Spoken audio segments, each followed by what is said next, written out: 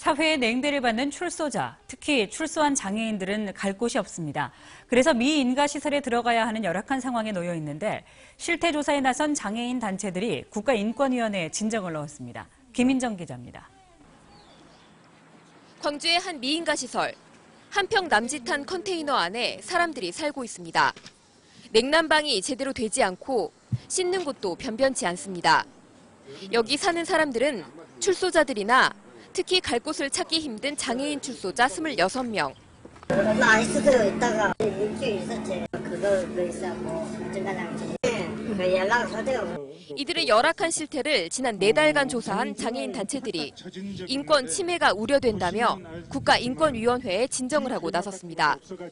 시설 관리자인 목사가 장애인 출소자들의 수급비 통장을 관리하며 다달이 수급비 절반이 넘는 25만 원을 이용료 명목으로 가져가고 있다며 횡령 의혹까지 제기했습니다.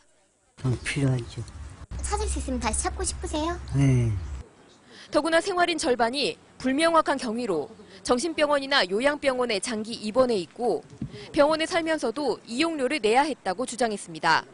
수급비가 약 40만 원 돈을 그분들이 받을 수 있는데요. 병원에 입원했음에도 불구하고 약간의 그 비용들이 지출되고 있었던 걸로 이런 의혹에 대해 목사는 미인가 시설을 운영하는 데 필요한 이용료를 받아왔을 뿐이라고 해명했습니다. 간식 챙겨서 가서 기도해주고 그 사람들 돌아보고 어려운 문제 있으면 다 해결했어요. 예? 그냥 그 사람들 병원에 딱 집어넣고 나물라 한 것이 아니라 한편 이 미인가 시설에서는 지난 2006년 방화로 4명이 사망하고 3명이 다친 데 이어 2011년에도 시설에서 식사와 빨래를 돕던 40대 여성이 살해당하는 등 사고가 잇따랐습니다. MBC 뉴스 김인정입니다.